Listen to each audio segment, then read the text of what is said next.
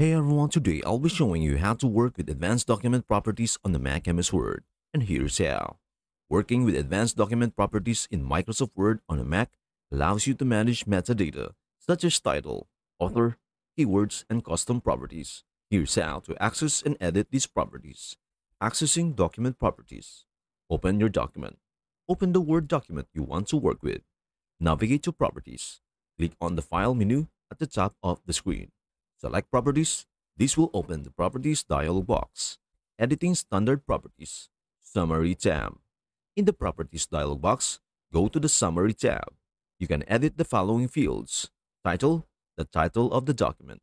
Subject, the subject of the document. Author, the name of the person who created the document. Manager, the manager associated with the document. Company, the company associated with the document. Category, the category of the document. Keywords, keywords associated with the document for easier searching. Comments, any additional comments about the document. Statistics tab.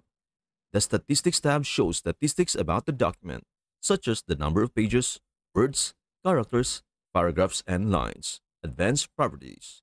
Custom tab. Go to the Custom tab in the Properties dialog box. You can add custom properties here. To add a custom property, enter a name for the property in the Name field. Select a type, text, date, number, yes or no from the Type drop-down menu.